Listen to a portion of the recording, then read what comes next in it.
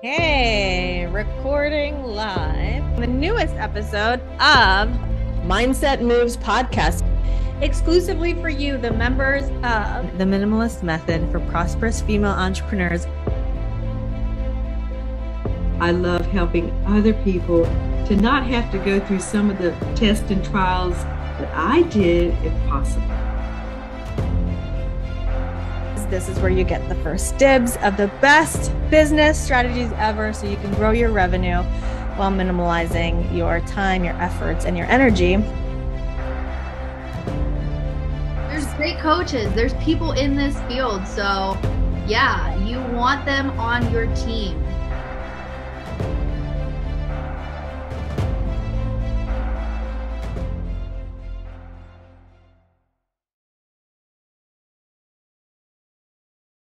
Hello, and welcome to the newest episode of Mindset Moves, recorded for you exclusively real, raw, and live in my Facebook community, The Minimalist Method for Prosperous Female, Prosperous Entrepreneurs.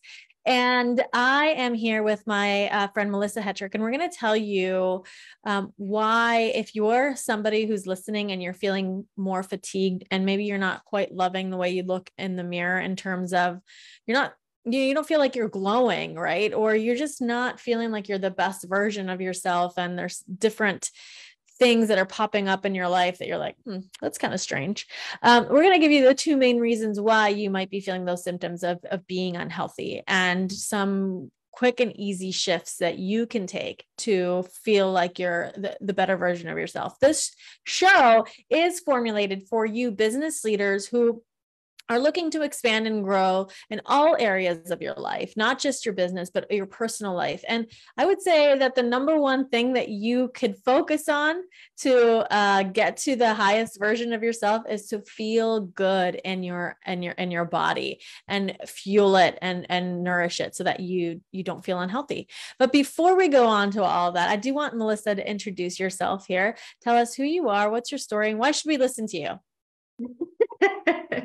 well, I hope I have a good reason for you to listen, but like I think you do. Said, my name is Melissa Hetrick. I am a clinical pharmacist at um, a local hospital out in East Coast, Pennsylvania, called Lehigh Valley Hospital. I have worked there since I graduated college, so 21 years now. And I always wanted to become a pharmacist because I just loved helping people you know, it was one of those pushes. My mom was like, you need to do something bigger, you know, go be a pharmacist. And every day, still now, I see patients coming in with all of these sicknesses like cancer, diabetes, obesity, all these things. And I just have always wanted to create a bigger impact in the world of healthcare. You know, there were times in the past I sat in my job and I was just bored I was uninspired and I'm like, I need something more. Having my own health struggles actually coupled with that, and I was introduced to something, the program I'm working with from my sister, and it really became this easy button. And it started as a hobby. I started as just a customer of the product and the company, and I just grew to see my health grow and myself blossom and realized now in my 40s i have found a community of people who take me as i am love me for who i am and help me to grow and expand every single day. They push me every single day every single day. And it's just it's become a beautiful thing. Mm-hmm. and i just one of the biggest things we can do for ourselves is eat whole foods. And that is the basis of the programs that we build and the programs that we work with. And like we mentioned at the beginning, it is one of the biggest reasons why we feel fatigued and why we don't feel well and look well. What we're putting inside of our bodies is what's coming out of our bodies. And I want to just help people continue to grow in that in that way and provide you with life hacks and tips and simple changes to get the best version of yourself and i hope that i can continue to do that and and meet new and more people that feel the same way that i do about health and wellness Awesome. And I do have a question a little bit, digging a little bit more into your story. As a pharmacist, I feel like that is such a different world than what we're talking about here, which is uh, help through nutrition. And, and by the way, those of you who know me and watch the show, and uh, number one, you know that I'm a mom of six. So anytime that you hear a child, a dog, or any rumblings, I just encourage you to take a drink of whatever drink that you have and make a game out of it. I've got my water right here. Let's see how hydrated we can all get during this episode every time. Number two, you are going to, if you've watched the show, you know that I'm like, gangbusters, if that even is the right word. I'm all about holistic health, nutrition as a you know as as a way of a medicine and fueling your body, energizing your body rather than just satiating some sort of craving or hunger, and how that can fend off diseases like uh, cancer and diabetes and you, you know other things as well. Um, and so I am so curious, Melissa, what led you from pharmacist to um you know to to this path here. Like that's such a i feel like that's such a you know wide path and i'd love to hear more about your story. I you know and i think it's just my my health story and i, I will i'll tell the whole story. Um i learned about this and the power of nutrition while my husband and i were struggling with infertility. Mm. so i went through years of ivf years of injections, um, special diets, uh, acupuncture, special herbs, all kind of things. And not once, so I say nutrition, but that literally was the end of my three to five year course where I went to a new doctor because my first doctor got rid of me because the medicine wasn't working. And she refused to try to help us again. And I met a doctor who is very acclaimed in New Jersey. And he was like, You're going to modify your diet in this way, this way, this way, this way. You can continue to take the supplements you're taking. And he just really believed in the power of nutrition in, in our diets and in our lives and how much it affects us. And I believe that's how medicine started. You know, the power of food, the power of herbs. And I just struggle to see my patients start on, or, you know, our friends and family start on one medication, you get a side effect that gets you a new medication. And then you get a side effect. And then you get a drug interaction. And before you know it, you're on 15 medications. And it just, it just snowballs. And then you can't at some point figure out what to get off of. And guess what? You still don't feel better. And I think it was just that that realization that something our bodies a lot of our illness can be alleviated I'm not saying cured because there are conditions we absolutely need medications absolutely need modern medicine um, but there are things that can really help us feel better and take away some of the medications that do more harm than good yeah, I completely agree with you. And just having that experience with my mom and um, her journey with cancer and everything that I learned uh, along those lines and things that I can do to not feed those cancer cells, not um, not feed into that. And then you know my dad who's a diabetic with alzheimer's who mm-hmm. uh it's it is kind of just maddening. It's it's kind of like your blood sugar is high let's up that insulin level. Whereas i've actually tested it and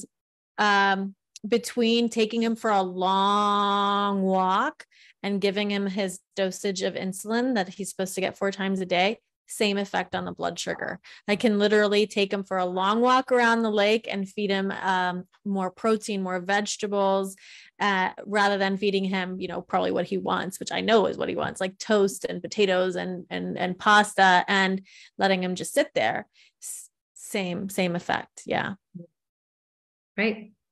So I completely agree with you on that. So what are the two main reasons that we're unhealthy then? Is it we're talking about, you know, it's what we eat, right? Right. So we have poor food quality. 50% of what we eat as Americans is processed. You know, we hear all these things all the time uh, GMO, preservatives, antibiotics. Uh, our food travels from across the country. So, yes, it's summer. Have I been to a farm for my food, my produce? No, not all of it. No.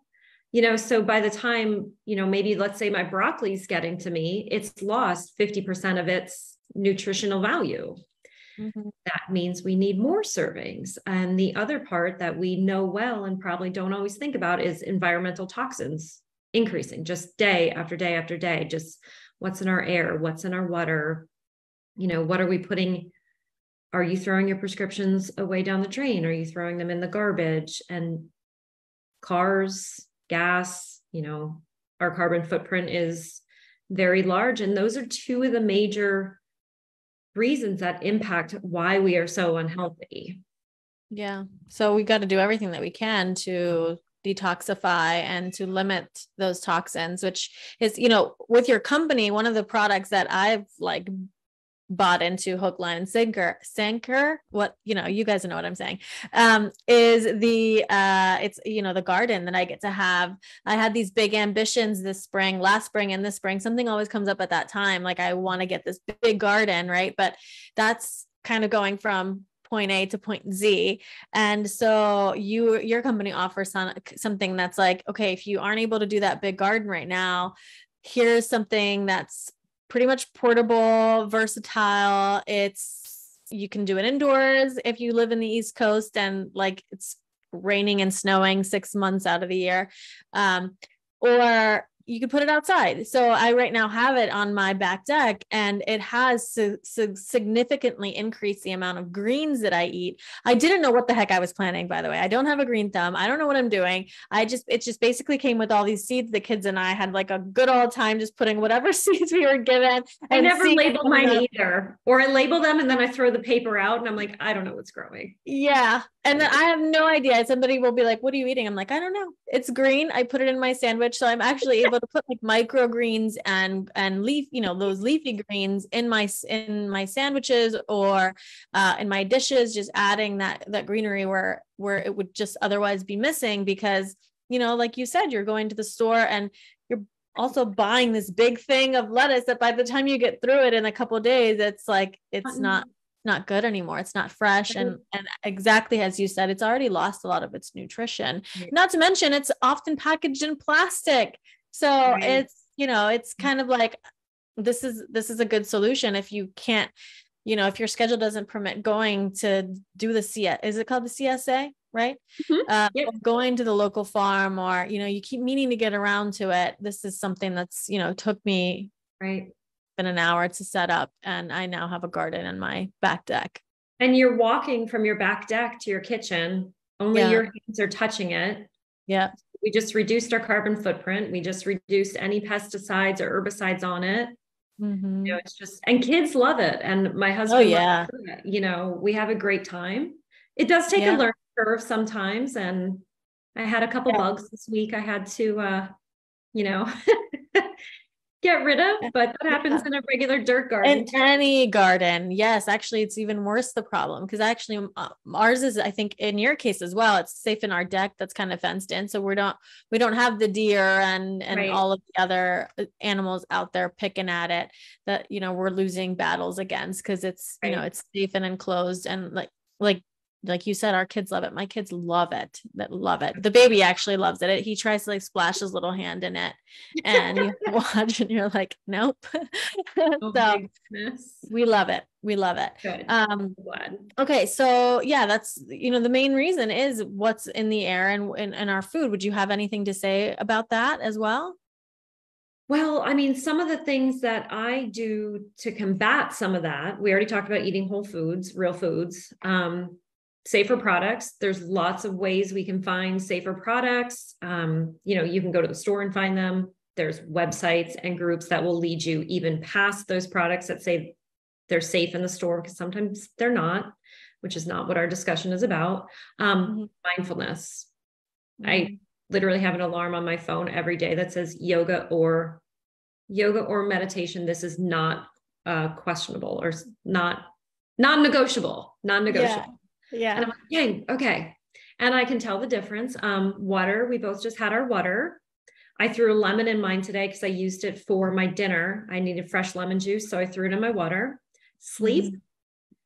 We so often are just like, eh, I'll get a couple hours. We mm-hmm. really need seven, eight hours. Mhm. Um, even though I am not a Fitbit person or one of those, you know, devices, a lot of us can measure our sleep and can see what we're getting. And is it REM sleep? Is it deep sleep? You know, and it's really makes a difference. Well, even from a productivity standpoint, the first thing you can do to help yourself for productivity and for success is prioritize your sleep. Schedule that into your schedule first. Yeah. And then, like you just said, the mindfulness. I don't even look at my phone until we're about I'm, I'm about an hour into being awake and that awake time happens before my kids are even awake. So i can be grounded prioritize the meditation the journaling the prayer the devotional reading before i even look at my screen. And by the way when i'm looking at my screen it's just to set some timers for some other daily practices. And that's, and I, I you, you hit the nail on the head. I mean, that by you doing that and setting that time aside, huge difference. and mindfulness, your Mhm. family's benefiting, you're benefiting, you know, and it's that it comes back to that taking care of yourself first. And it's not selfish. It's, it's something we need to do. And Yeah. the other thing is exercise. Every little bit counts. That's like my favorite tagline, whether it's money, whether it's like, you know, moving everything, every little bit counts. This morning I walked up and down my block. It was probably like a five to seven minute walk, but it's all I had time for before I started work. And I just wanted to be outside. right And, you know, one other thing you said, scheduling your sleep. Do I want to stay up late and have a glass of wine and watch TV? Sure. Am I going to Um, feel i feel so much morning? worse the next day So much worse. worse the next so day worse. Yeah. And you know, you just you you you still get that kid thing. Like, am I going to miss something if I go to bed at nine o'clock or ten o'clock? No, Mhm. 'Cause right We have Netflix. We're not going to miss anything. Right. And So that fear of missing out doesn't exist. You're not going to miss out because every You're not gonna- opportunity that's meant for you is is there for you. Right. Although And I do have a ticket to an event I love coming up at the end of the month that's happening after my bedtime. We'll see how I do. Okay. Okay. I love it. I love it. So I think I answered your question, but those are Oh, some okay, awesome. those are some of the things I do to kind of keep myself on track. And everybody ebbs and flows. Like, let's be clear. I'm 100% nowhere near perfect, not striving to be, don't want to be, but you have to have some sort of basis Right. that you're Yes. working towards.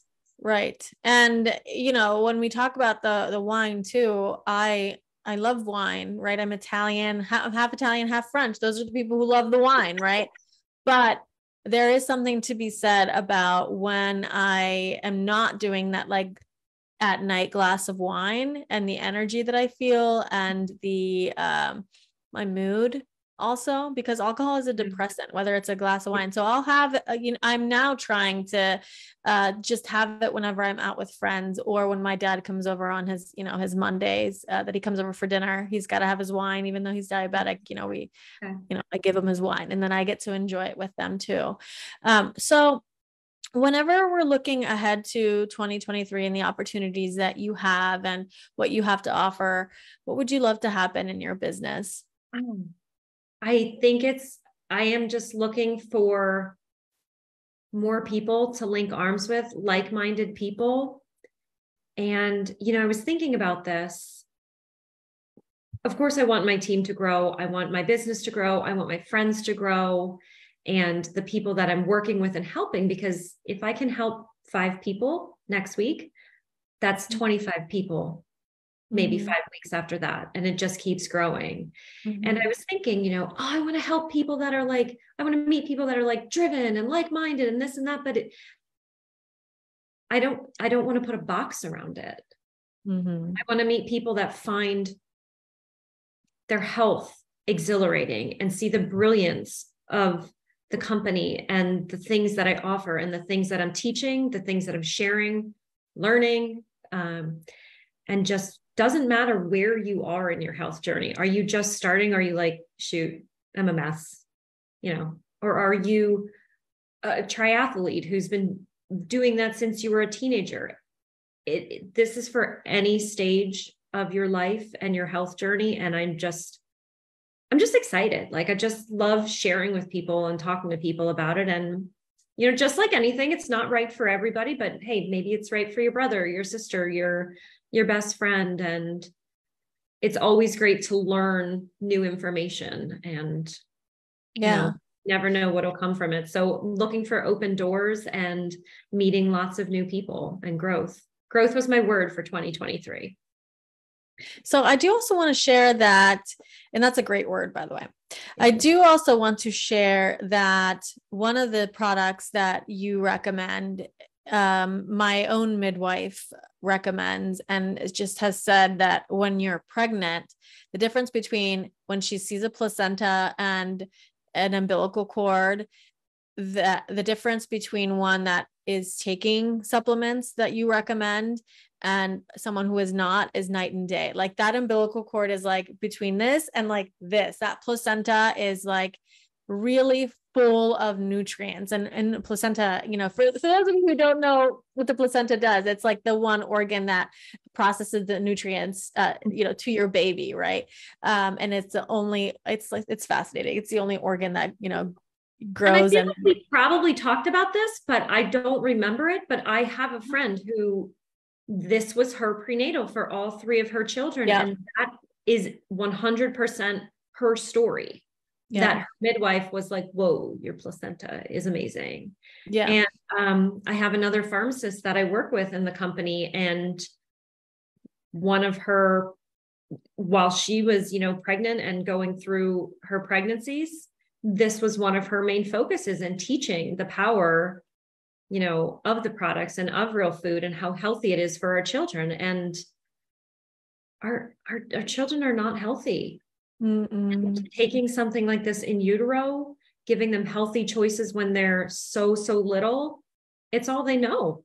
Yeah. And before you know it, they're, you know, splashing their hands in the plants and stealing mm-hmm. lettuce and mm-hmm. they don't know anything different. Yeah. Yeah. I mean, there is, I, I am so guilty of this. I am so guilty of this because there is such a normalized, incentivized love for white sugar products for our children right? Like if you if you do good you'll get ice cream right? Or you know i'll take you to the store to buy you candy. And i can and i am so guilty of that. And actually just recently i've been retaking inventory of like wait a minute all we're eating is shit what's going yeah. on here? We need to recalibrate right? And and and push up against that resistance of like right. mom you know? Um because they certainly can uh, with the teenagers especially it's like okay it doesn't have to always be organic. And it's like you know what? It does. It does always have to be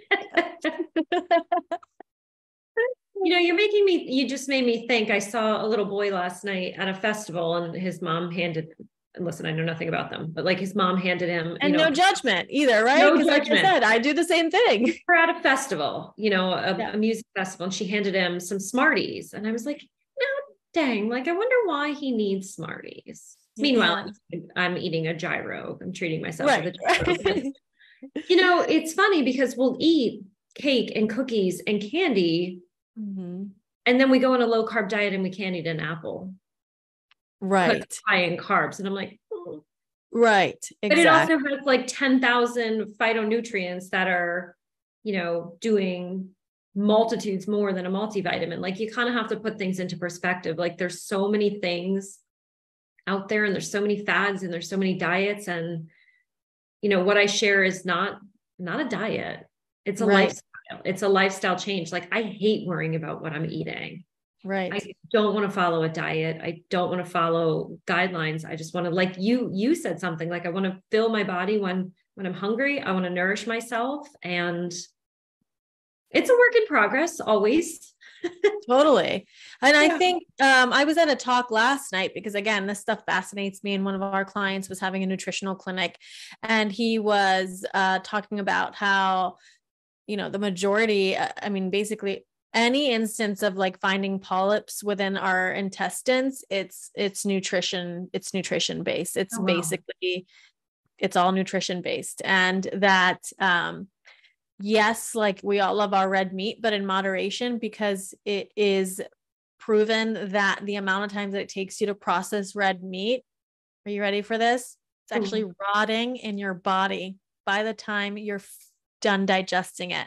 So it's okay to have red meat every now and then, right? But like, I think we've gotten so as a society of like, cheeseburgers and hamburgers and you know protein pro especially i'm telling you because i did some work for a very well known food brand and it was like oh the trend right now is protein let's amp it up in our marketing protein protein protein let's put together Right. these protein pack packages meanwhile it's like it's still shit that you're putting in your Right. body right? Right. Uh, so it's it's very important to to know that that if you have a hard time infiltrating more of those vegetables and fruits into your diet um, that are organic, there are solutions out there um, that you could reach out to Melissa about to make it so much easier. Because that's really like that's it's kind of like wash out any tendencies of neg- negativity by filling it with easy ways to make it happen. And you know, and I just read, I'm reading a book, um, and it was about plant-based gut health. And it has no connection to my company. And it is like the story, the same story. And I'm really excited because I got to the end of the book and it has a four-week diet plan. Mm. I say diet, but I don't mean diet. Um, nutrition plan. nutrition plan. And I'm like, you know what? I'm gonna do this because I sometimes struggle with my gut. I that's that's the part of my body where I gain weight is in my waistline. So no one sees it but me because it's Mm. easy to hide.